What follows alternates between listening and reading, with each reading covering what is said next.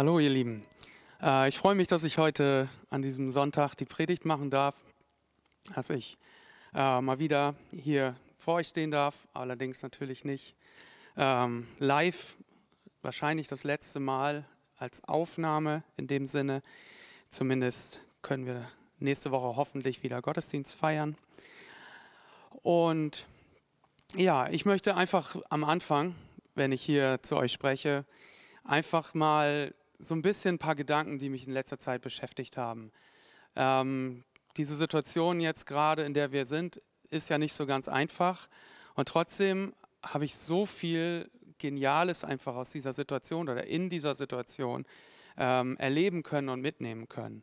Zum einen genieße ich das total ähm, in unserer Online-Dinner-Party zurzeit, dass wir, wo man einfach merkt, dass ähm, wir trotzdem, dass wir uns nicht sehen können, einfach richtig gut zusammenwachsen, dass wir eine gute Zeit immer wieder zusammen haben und dass jeder irgendwie so motiviert ist, obwohl es die Situation eigentlich gar nicht hergeben müsste. Und äh, am Anfang, und da möchte ich auch schon gleich um Verzeihung bitten, was äh, meiner Online-Dinner-Party gegenüber, möchte ich so ein paar Gedanken einfach in der Einleitung loswerden, die mich in den letzten Tagen bewegt haben, bevor ich zu dem eigentlichen Thema komme. Deswegen bitte ich um Verzeihung, weil die Leute, die in unserer Online-Dinner-Party sind, die werden die meisten Gedanken schon kennen. Ähm, zu Anfang eine kleine Geschichte. Ich war mit einem guten Freund 2009, ich glaube es war im Februar oder im März, äh, in Stockholm in Schweden. Das war so, wir waren gerade mit unserem Studium fertig, von unserer Ausbildung zum Pastor hatten unser Theologiestudium beendet und wollten ins Hauptpraktikum gehen. Und wir hatten noch so zwei, drei Wochen Zeit vorher, hatten wir noch ähm, ja, irgendwie ja, Ferien, einfach so eine Überbrückungszeit, bis es losging zum Hauptpraktikum. Und wir haben gesehen, dass dort eine Weltpfingstkonferenz stattfindet in Schweden, in Stockholm. Und dort haben wir uns angemeldet. Und wir voller Energie, voller Tatendrang hatten richtig Lust, endlich loszulegen mit unserem Dienst in den Gemeinden. Und dann waren wir da und wir haben, waren mit richtig vielen Christen zusammen, die aus der ganzen Welt kamen. Und wir haben uns so die Liste der Sprecher angeguckt und es waren viele geniale Sprecher dabei. Und dann haben wir uns ganz besonders auf zwei Workshops eigentlich gefreut. Das eine war von Ying Kai. Ähm, er ist der Leiter von unglaublich vielen äh, Gemeinden aus der Untergrundkirche in China. Ähm, irgendwie 200.000 habe ich im Kopf, aber da müsste man vielleicht mal nochmal nachgucken. Aber auf jeden Fall waren es richtig, richtig viele Untergrundkirchen, die, denen er als Leiter vorstand. Und das andere war ein Mann aus Indien. Da weiß ich jetzt seinen Namen nicht mehr. Ähm, und der hatte eine Gemeinde gegründet und die waren innerhalb von kurzer Zeit auf 45.000 Menschen angewachsen. Und das hat uns natürlich mega interessiert, weil wir wollten ja natürlich auch in Deutschland richtig viel bewegen und haben gedacht, der hat bestimmt eine Menge zu erzählen. Und wir waren sehr gespannt und sind dann in diesen Workshop reingegangen, wo es, ich glaube, das Thema war auch Gemeindewachstum. Und wir wollten einfach wissen, was er zu sagen hat. Und wir haben so richtig viel erwartet, was er uns erzählt. Und wir saßen da drin und dann fing er an. Und hinterher waren wir so ein bisschen ja, desillusioniert würde ich jetzt vielleicht nicht ganz sagen, aber wir waren ein bisschen ernüchtert. Ähm, weil was hat er gesagt? Es war für uns sehr simpel, es waren einfach Basics und trotzdem mega interessant. Und ich weiß noch heute, was er gesagt hat. Er hat gesagt, das Erste, das Wichtigste ist, wir haben gebetet. Wir haben uns regelmäßig getroffen zum Beten.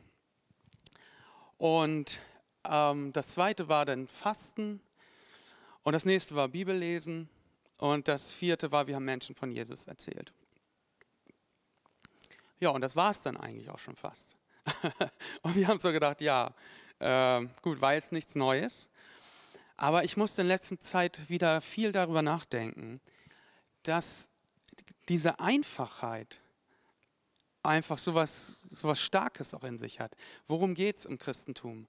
Man kann viel Kompliziertes machen. Man kann viele besondere Bücher lesen. Äh, man kann Erbauungsliteratur lesen, tiefe theologische Literatur, wie auch immer. Aber diese äh, Gemeinde dort in Indien, die ist einfach durch, durch, dadurch gewachsen, dass das getan wurde, was eigentlich das Wichtigste ist. Ge Gebet, Bibellesen ähm, und Menschen von Jesus erzählen. Und Lobpreis, Gott anbeten war auch noch dabei. Den Punkt hatte ich, glaube ich, eben vergessen. Ähm, und das war es eigentlich. Und ich habe so gedacht, gerade jetzt in dieser Zeit, in der wir sind, in dieser Corona-Zeit, ähm, wie genial ist es, dass wir eigentlich die Möglichkeit haben, zu diesen ganz einfachen Sachen zu, wieder zurückzukommen.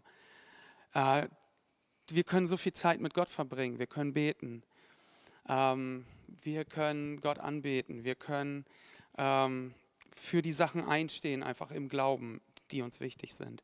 Und ganz besonders der Punkt Bibellesen, der ist mir auch wieder ganz neu ins Herz gekommen und, und stark geworden.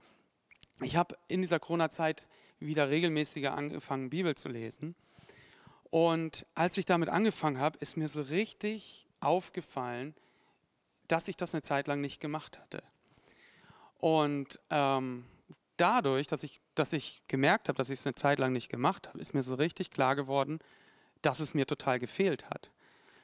Wodurch? Zum Beispiel dadurch, dass ich gemerkt habe, dass ich nicht mehr in jeder Situation wusste, was die Meinung Gottes dazu ist oder was die Bibel uns sagt. Wenn ich früher, wo ich regelmäßig Bibel gelesen hatte, also früher hört sich jetzt so ewig lang her an, aber noch, noch vor einiger Zeit, bevor ich diese, diese ungewollte Pause hatte, wo ich einfach das vernachlässigt habe, da hatte ich immer ein Thema auf dem Herzen. Ich konnte immer spontan predigen. Äh, wenn ich ein Problem hatte, dann, dann sind mir sofort Bibelstellen dazu gekommen. Dann, ähm, ja, irgendwie daraus ist Lobpreis entstanden, dadurch sind Gebetszeiten entstanden. Ich habe einmal Klagelieder gelesen und ich habe danach so viel Freude gespürt. Macht gar keinen Sinn, Klagelieder, aber einfach dadurch, dass, dass, da, dass, da, dass ich das Wort Gottes gelesen habe und in mich aufgenommen habe. Und man sagt ja auch nicht umsonst, dass es auch geistliche Nahrung ist. Und diese Nahrung, die hat mir einfach gefehlt. Das habe ich in dem Moment äh, so stark realisiert, als ich es wieder angefangen habe zu lesen, wo ich gemerkt habe, oh, das war gar nicht mehr in meinem Kopf, der Inhalt zum Beispiel, den ich in dem Moment gelesen hatte. Und dadurch ist mir dann einfach aufgefallen, dass das einfach ähm, ja, so existenziell ist. Also einfach beten, Bibel lesen, es muss nicht kompliziert sein. Und klar, wenn ich eine Erbauungsliteratur lese in dieser Zeit, ich habe christliche Literatur gelesen, auch das motiviert, aber es ist unglaublich viel Stoff und meistens dauert es auch länger, bis man es durchliest und es ersetzt einfach nicht das Bibellesen, weil einfach die Bibel unsere Richtlinie ist und uns so viel gibt und das ist mir so ganz neu einfach bewusst geworden. Das nur kurz zur Einleitung. Das sind so die Hauptgedanken, die mir so gekommen sind in dieser Zeit, in den letzten zwei, drei Wochen. Äh, mein Thema heute, äh, womit ich weitermachen möchte, ist das Thema Einmütigkeit.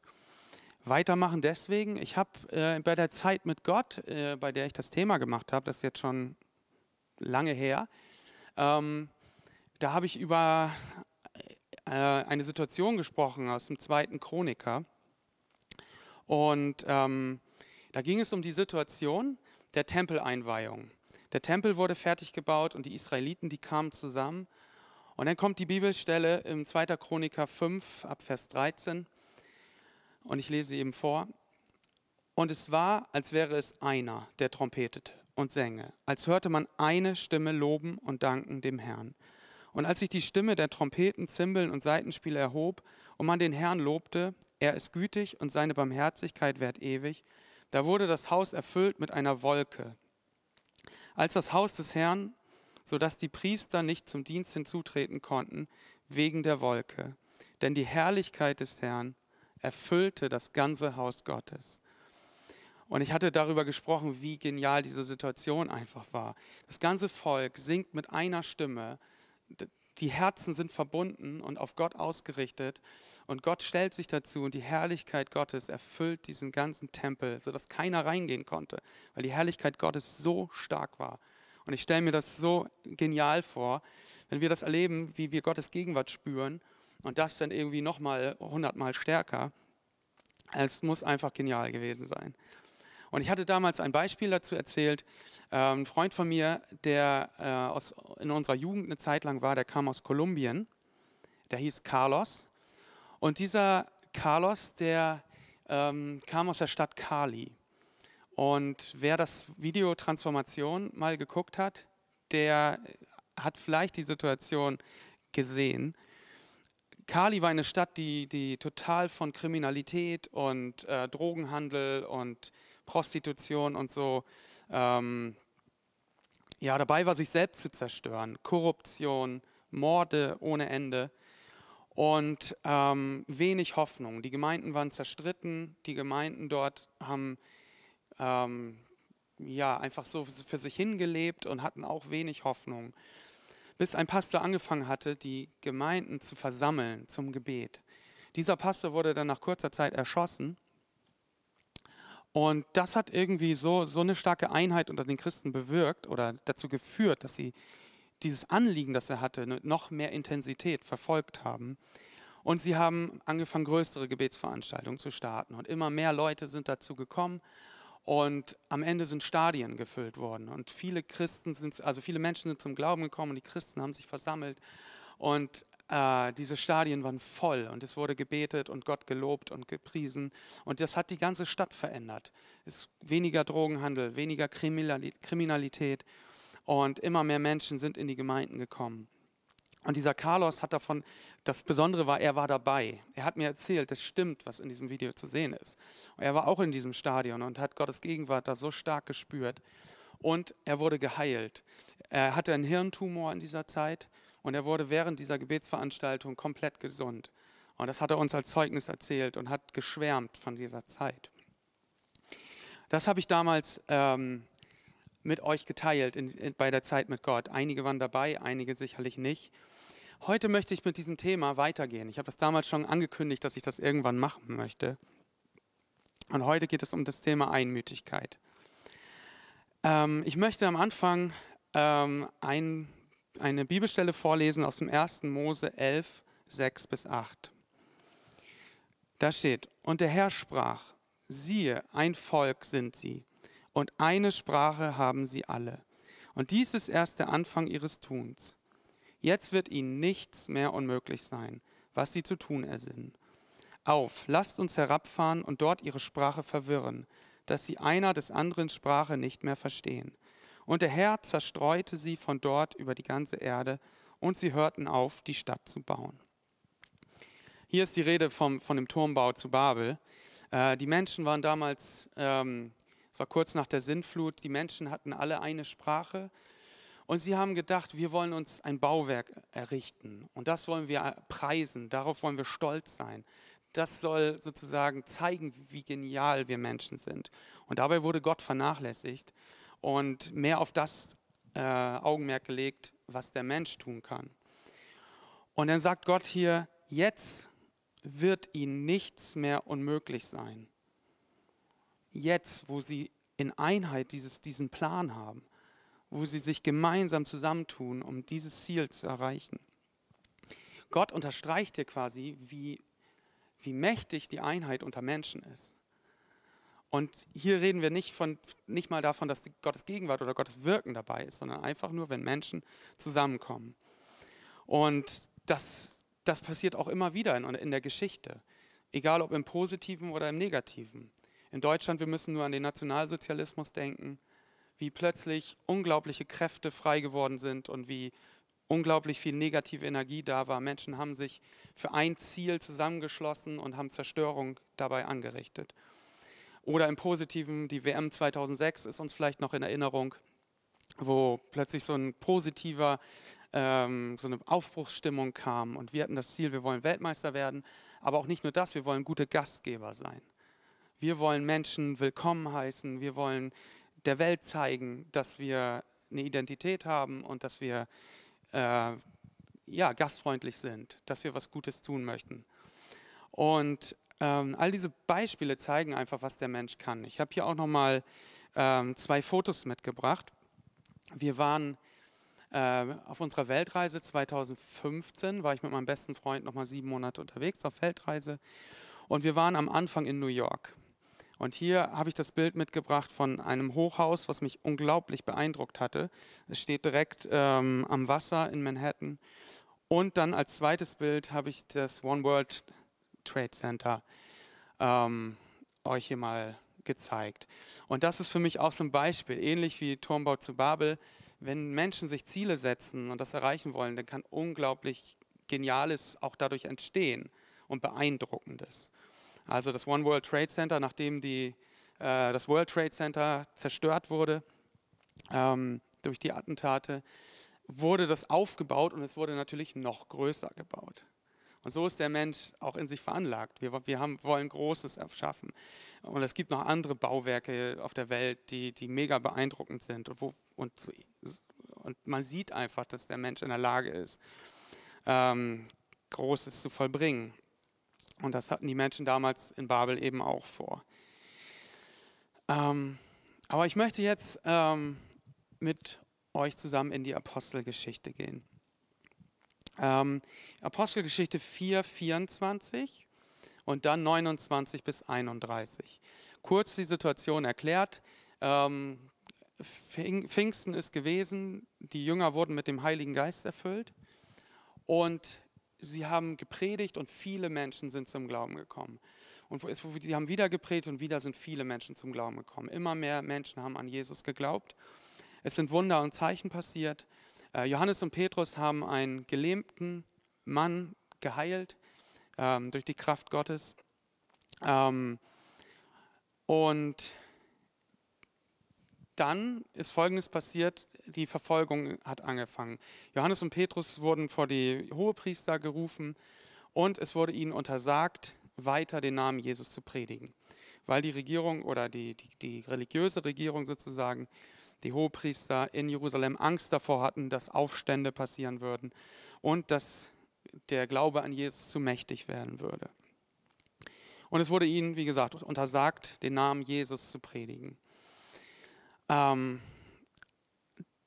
das, ähm, ja, das war die strenge Auflage und sonst würden sie ins Gefängnis gesperrt werden. Und jetzt ist die Situation, Johannes und Petrus kommen nach dieser Begegnung mit den Hohenpriestern zurück zu der Gemeinde. Und ich lese ab Vers 24. Als sie das hörten, erhoben sie ihre Stimme einmütig zu Gott und sprachen, Herr, sieh an ihr Drohen und gib deinen Knechten mit allem Freimut zu reden, dein Wort. Strecke deine Hand aus zur Heilung und lass Zeichen und Wunder geschehen durch den Namen deines heiligen Knechtes Jesus.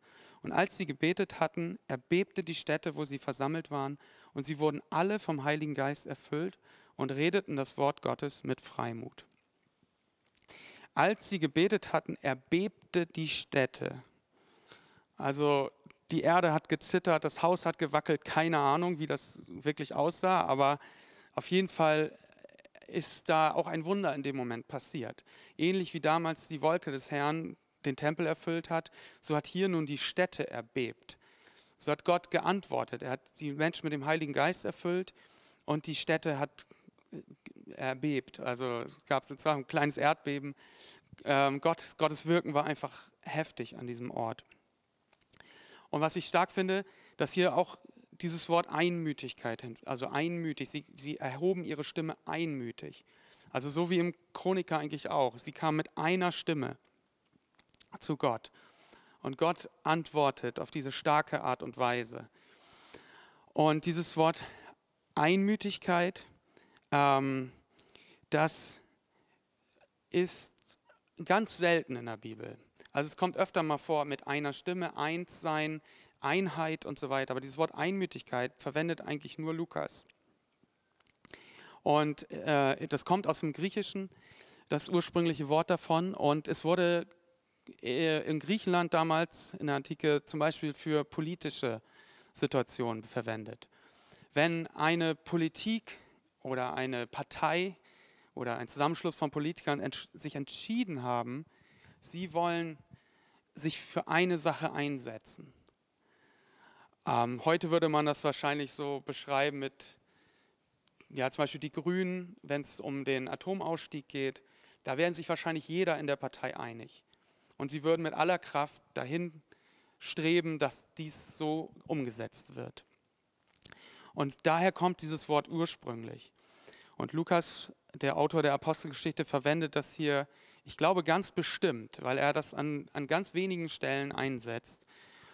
Und das hier damit eigentlich nochmal unterstreicht. Er hätte ja auch einfach sagen können, sie alle beteten zusammen.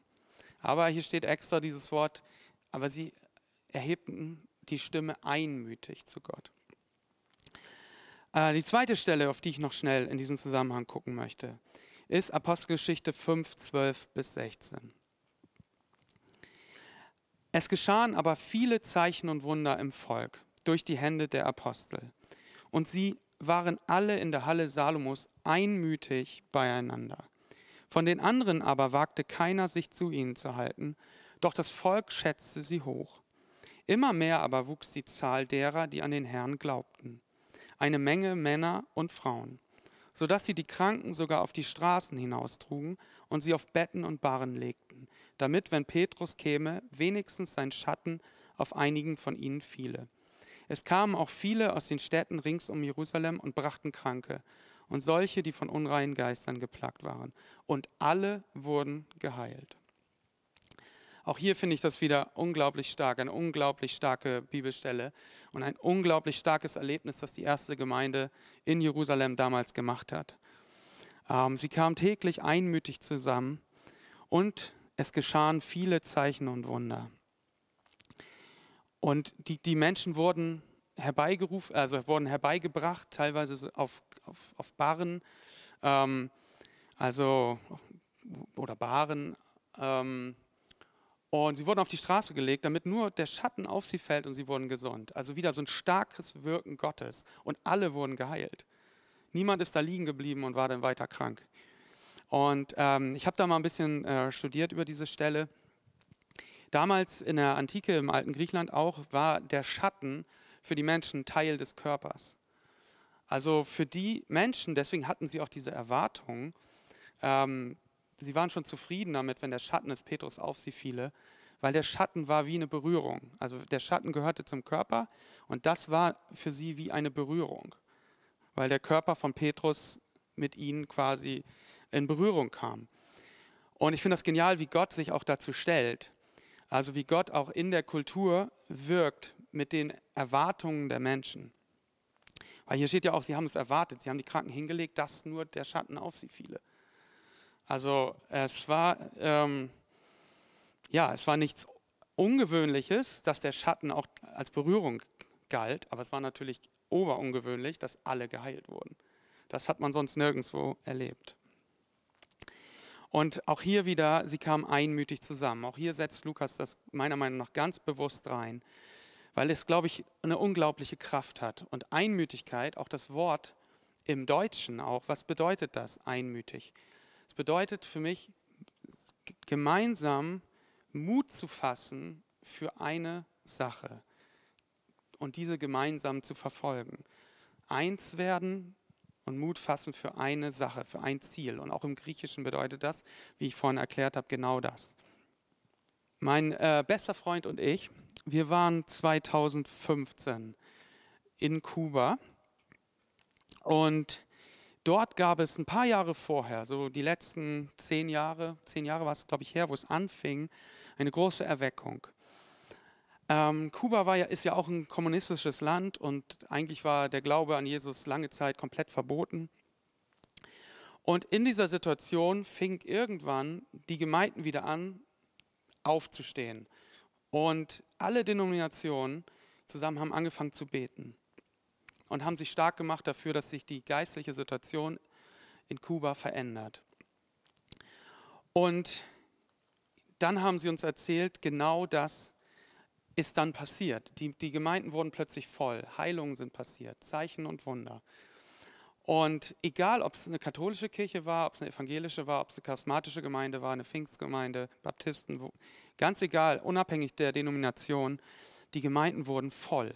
Gott hat so stark gewirkt, überall wurde geheilt und plötzlich war die Theologie auch nicht mehr das Wichtigste und hat die Gemeinden nicht mehr unterschieden, sondern das Wirken Gottes wurde erlebt in allen Gemeinden und es wurde sich darauf ausgerichtet.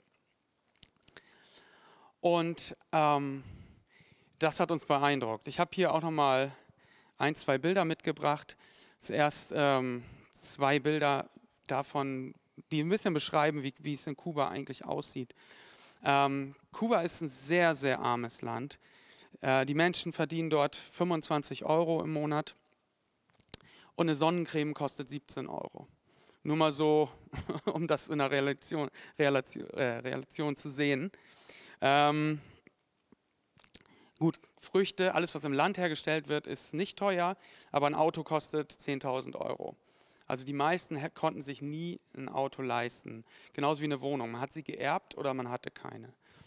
Und diese Situation plus das dessen, dass der Glaube verboten wurde, hat die Menschen einfach dazu gebracht zu sagen, wir wollen diese Situation nicht mehr hinnehmen, sondern wir stehen zusammen und wir beten, dass Jesus Veränderung schenkt. Und äh, Jesus hat dort ziemlich stark gewirkt. Und jetzt habe ich noch ein, zwei Bilder hier von der Gemeinde, ähm, in der wir zum Beispiel waren und sie war auch wirklich komplett voll. Jedes Mal, jeder Gottesdienst unter der Woche. Und es war einfach beeindruckend. Es sind Heilungen passiert, als wir da zu Besuch waren. Und es war einfach so schön zu sehen, wie so eine Veränderung einfach praktisch stattfinden kann, dadurch, dass Menschen zusammenkommen und für ein Ziel einstehen und beten und Gott suchen dafür. Wenn ich jetzt an unsere Situation denke, wir befinden uns gerade in einer unglaublich schwierigen Situation. Wir hatten jetzt eine ganze Zeit keine Möglichkeit, uns zu sehen, uns zu treffen als Gemeinde. Ähm, wir haben uns angefangen, online zu treffen und ich habe gemerkt, trotzdem ist diese, diese Begeisterung für Jesus ist dadurch nicht kleiner geworden, sondern sie, sie ist weitergegangen. Wir haben geniale Zeiten gehabt in einer, einer Online-Dinner-Party. Ähm, aber ich glaube trotzdem, dass es wichtig ist in dieser Situation, wo wir doch so in so einer Isolation gelebt haben, jetzt nicht nachzulassen und zu sagen, ja, okay, ist jetzt halt so, vielleicht dauert es ein halbes Jahr, vielleicht dauert es ein Jahr, vielleicht dauert es anderthalb Jahre, wir wissen es nicht. Ähm, ja, dann leben wir einfach so ein bisschen vor uns hin. Ich glaube, gerade auch in dieser Situation, in dieser Zeit, können wir sagen, wir wollen als Christen für unsere Ziele einstehen. Wir wollen gemeinsam unsere Ziele erreichen. Wir wollen zum Beispiel einen Unterschied machen in dieser Gesellschaft, wo viele Leute Angst haben, wo viele Leute ähm, ja, sich Sorgen machen, oder Schwierigkeiten haben. Ich denke da zum Beispiel an die ganzen Familien, die zurzeit, ähm, dadurch, dass es keine Schulen gibt, keine Kitas, äh, untereinander vielleicht in Streit kommen oder ähm, ja, einfach äh, familiäre Schwierigkeiten entstehen oder finanzielle Schwierigkeiten bei anderen. All das ist in dieser Zeit, glaube ich, normal, finanzielle Sorgen. Und ich glaube, dass es umso wichtiger ist, dass wir da als Christen sagen, wir leben nicht einfach nur, wir stehen nicht nur einfach diese Zeit durch, sondern wir machen uns wirklich gemeinsam stark dafür, dass das Reich Gottes auch in dieser Zeit gebaut wird. Ich denke da zum Beispiel an uns in Lübeck, dass wir sagen, wir wollen dort bewusst Gemeinde bauen. Wir wollen jetzt nicht zwei Jahre Pause machen, zwei Jahre warten, oder ein Jahr oder ein halbes Jahr. Ich will jetzt hier nicht keine negative Prognose abgeben. Wir wissen es ja nicht und wir hoffen natürlich, dass, dass das so schnell wie möglich sich wieder ändert und äh, dass wir wieder zur Normalität kommen. Wobei ich nicht hoffe, dass wir zur geistlichen Normalität kommen, sondern dass wir da eben auch weiter wachsen und für unsere Ziele einstehen und erleben, dass Gott gerade in dieser Situation wirkt und eingreift und auch danach ich glaube, oft ist es auch eine Gefahr, dass gerade nach einer schwierigen Situation dann so ein, so ein Schlendrian wieder kommt, dass man dann so ein bisschen runterfährt. Jetzt geht ja wieder alles und man macht wieder Business as usual. Aber ich glaube, gerade da ist es auch wichtig, dass wir da ganz klar uns mal bewusst machen, was ist unsere Vision? Wofür stehen wir ein? Und wofür können wir gemeinsam einstehen? Wofür können wir gemeinsam beten? Wie gesagt, einmütig einer Sache hinterherlaufen. Ich denke da zum Beispiel an eine Situation in Darmstadt. Ähm, während unseres Studiums, äh, das muss so 2007 bis 2009 gewesen sein, haben wir einen jungen Erwachsenenhauskreis in Darmstadt aufgebaut. Wir waren am Anfang drei, Bibelschüler sozusagen, Theologiestudenten, die in der Gemeinde da was aufbauen wollten unter jungen Erwachsenen. Und es waren zwei junge Erwachsene in der Gemeinde. Und wir haben angefangen, uns regelmäßig zu treffen. Und innerhalb von einem halben Jahr oder so waren wir dann neun Leute. Wir haben dann Kinder erreicht von anderen äh, Erwachsenen, die in die Gemeinde gingen, also die so im Alter zwischen 18 und 27 oder so waren. Und wir waren neun Leute. Und irgendwann hatten wir den Impuls vom Heiligen Geist, dass wir uns Ziele setzen sollen. Und wir haben uns dann zusammengesetzt und haben alle zusammen, alle neun, überlegt, was wollen wir in einem Jahr erreicht haben. Ein Punkt war, wir wollen doppelt so viele Leute sein. Ein anderer Punkt war, wir wollen alle Geistestaufe erlebt haben und in den Geistesgaben aktiv sein. Ein anderer Punkt war, wir wollen eine Jugendgruppe aufbauen und wir wollen eine Band aufbauen für die Gemeinde. Und wir wollen eine Veranstaltung machen, zu der viele Menschen kommen, die nicht in der Gemeinde sind, in unserem Alter. Das waren so unsere Ziele, die wir uns gesetzt hatten. Und wir haben dafür gebetet, wir haben daran geglaubt, wir, dafür, wir sind dafür eingestanden und es war unglaublich, es war so stark zu sehen, dass Gott alle unsere Ziele wirklich erfüllt hat. Und wir mussten es noch nicht mal groß, groß irgendwie dafür arbeiten oder uns anstrengen, sondern irgendwann kam einfach jemand, es war gerade nicht so eine gute Stimmung, ein, zwei Hauskreise, und plötzlich kam jemand von den Jüngeren und hat gesagt, ich möchte prophetisch reden können, ich möchte in den Geistesgaben dienen. Und haben gesagt, gut, dann beten wir einfach dafür. Und plötzlich hat sie angefangen, in Sprachen zu sprechen. Das nächste Mal hat sie prophetisch geredet und die anderen haben auch angefangen und wollten das auch. Und so haben wir dafür gebetet. Oder wir haben einmal ein Grillfest gemacht, zu dem wir junge Leute eingeladen haben. Und wir waren richtig erstaunt. Wir waren ja am Anfang neun Leute, vielleicht waren wir zu dem Zeitpunkt schon 13, keine Ahnung. Aber zu diesem Grillfest sind 31 Leute gekommen. Und über die Hälfte davon hatten keine Beziehung zu Jesus. Und es war einfach so genial zu sehen, dass, dass Gott das einfach so, so Gunst geschenkt hat. Dass wir gesehen haben, wie diese Ziele einfach umgesetzt werden. Aus unserem Hauskreis ist eine Band entstanden, die innerhalb von anderthalb Jahren in ganz Südwestdeutschland auf christlichen Konferenzen und Konzerten gespielt haben. Weil die einfach so Bock drauf hatten, Lobpreis zu machen und weil sie einfach, so, weil wir so viele talentierte Leute unter uns hatten.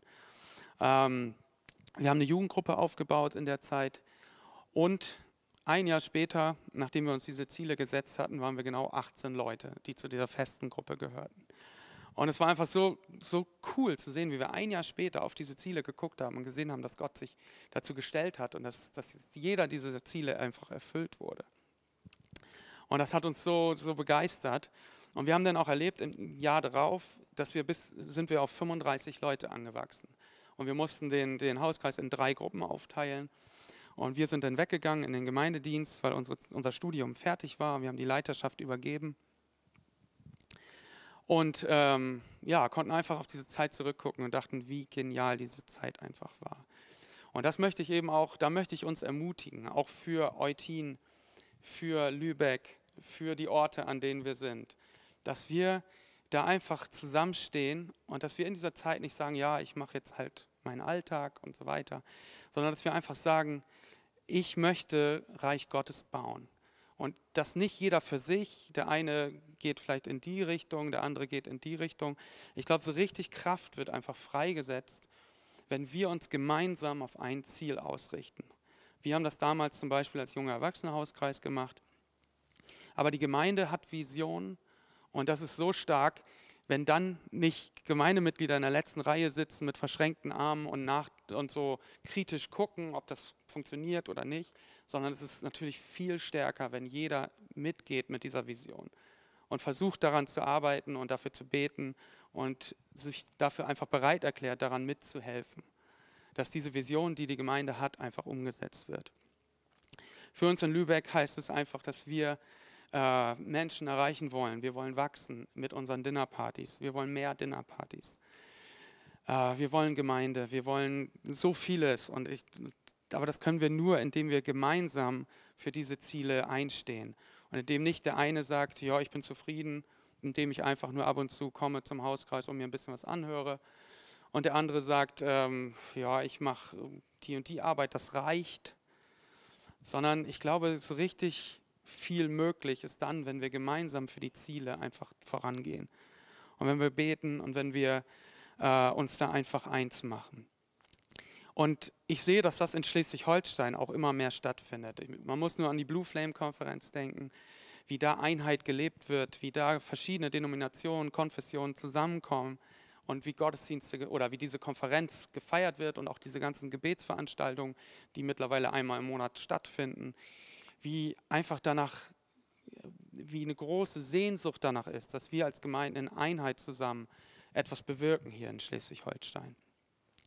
Und da möchte ich aber auch dann jetzt mit dieser Predigt, gerade in dieser Zeit, wo man jetzt sagen könnte, ja, was soll ich denn jetzt als Ziele haben? Ich sehe eh kaum Menschen, dass wir gerade in dieser Zeit sagen, nee, wir haben Ziele als Gemeinde, wir haben Ziele zum Beispiel als Dinnerparty, wir haben Ziele als Projektgruppe oder wie auch immer, ähm, dass wir dafür einstehen, dass wir motiviert sind, dass wir uns nicht zurücklehnen, sondern dass wir sagen, meint, das ist meine Gemeinde und ähm, ich möchte Reich Gottes bauen mit dieser Gemeinde.